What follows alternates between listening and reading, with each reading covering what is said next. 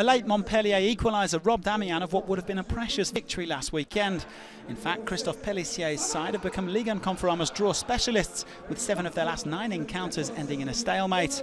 If they could get a first win in two months against Toulouse here, one of the two teams that they've beaten on the road this season, they would take a huge step towards securing their survival. The visitors, three points better off going into this one, looking to make mathematically sure that they'll avoid the drop with just a third victory in 15 outings. Well, Amiens haven't lost at home in six outings, and they began the game with greater purpose. Khaled Adenon seeing that header go just wide of the post. Sehrou Guirassy then trying his luck from distance on 25 minutes. Powerful shot, well saved by Mauro Goicoechea. The Uruguayan making a rare start in place of the injured Baptiste Reynet. Dossevi then trying to get something going for Toulouse at the other end. Issiaga Sylla on the end of his cross but it was comfortably gathered by Regis Gurtner.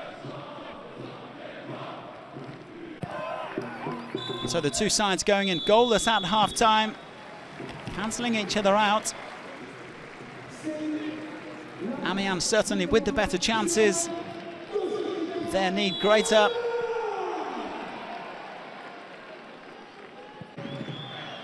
And they were on the attack again early in the second half. Max Alain shrugged off the ball there by Emil Krafth and Eddy Gnahoré putting it just wide.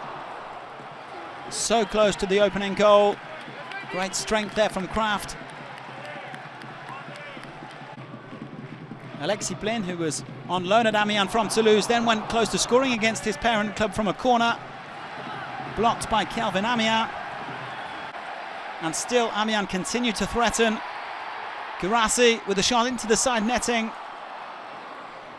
Simply wasn't to be for Pelissier's side. They huffed and they puffed, but they couldn't blow Toulouse's house down. And so the game finished goalless. 16th place Amiens, just two points ahead of the relegation playoff place now.